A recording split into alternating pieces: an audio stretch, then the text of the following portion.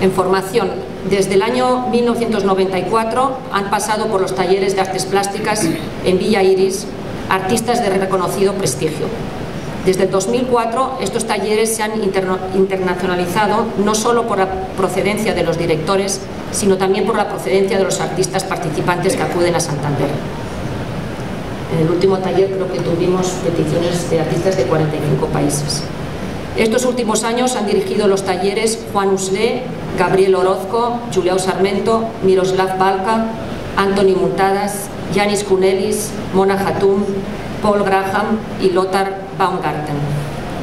Este verano dirigirá el taller Casitadín. Las becas de artes plásticas nacen en 1993 para facilitar la formación, la investigación y apoyar la creación. Y ya son 146 artistas los que han pasado y han disfrutado de la beca. Y además de las becas de artes plásticas, tenemos desde el año 2005 las becas de gestión de museos y comisariado de, exposiciones, que están destinadas a la formación de un español o española en el extranjero, tienen como objetivo obtener una capacitación integral sobre gestión de museos y organización de exposiciones, los curatorial studies.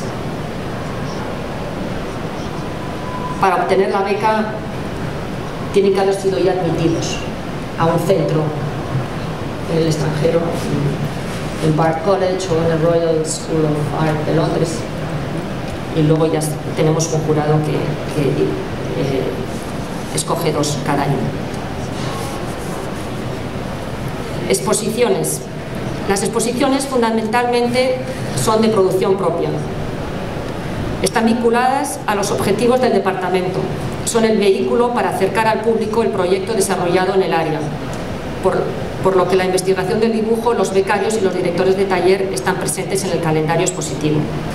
Además, este programa se completa con exposiciones de carácter internacional, con un reconocimiento histórico, que son posibles gracias a las relaciones con instituciones y profesionales internacionales, que ofrecen su colaboración para la realización de proyectos de gran trascendencia que permiten acercar a la franja norte artistas, temas, etapas de la historia del arte, hitos imprescindibles para su conocimiento. Destacamos los últimos años hemos tenido Paul Klee, colección Verbruen, Basquiat, y como reflejo de este programa, la colección de arte, el tema que hoy nos ocupa. La colección se especializa en arte contemporáneo y cuenta la historia desarrollada en el área de formación dentro del Departamento de Artes Plásticas.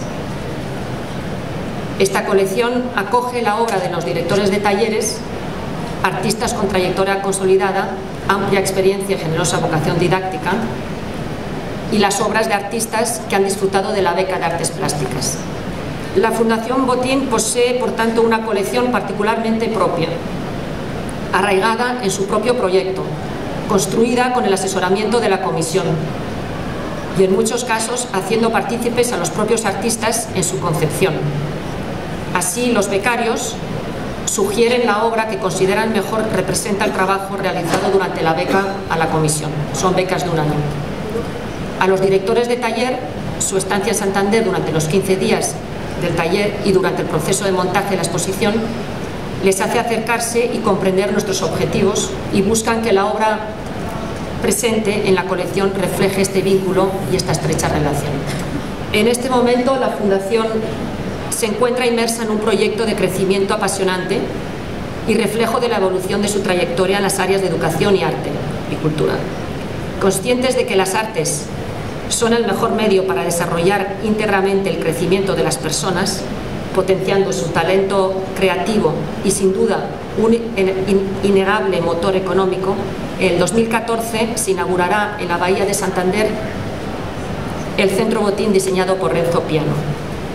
El Centro Botín será un centro cultural de referencia, un nuevo lugar de encuentro para los habitantes y visitantes de la ciudad, con una programación artística a nivel internacional y un programa educativo con una nueva forma de, desarrollar el talento creativo de nuestros jóvenes a través del arte.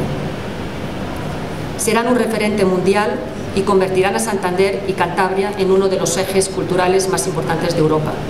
Será sin duda un motor económico para nuestra región. Thank you.